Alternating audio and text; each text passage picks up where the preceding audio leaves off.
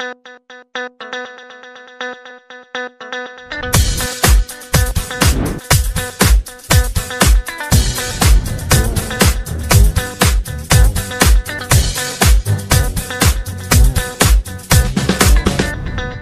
everyone, Matt and Ben here. We hope you're all enjoying this beautiful September weather we have in. The golf season is still going strong. We hope you're making the most of it. Just a reminder, as we head into the fall, the tee times are starting later in the day. So instead of starting at 6.30 in the morning, they're starting at 8 o'clock and that will continue to bump back as there's less daylight early in the morning.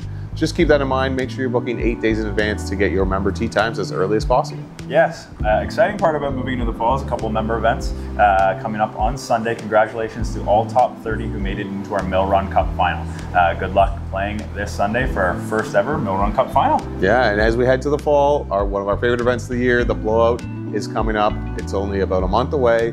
So make sure you register. Ben, can you give some more information about the blowout? For sure. You're going to see a registration link in the email below, October 19th. Make sure you sign up right away. Remember, as a member, you do get first access. You are allowed to sign up guests as well, so just make sure when you are signing up, you're clicking the appropriate amount of members and guests during your registration.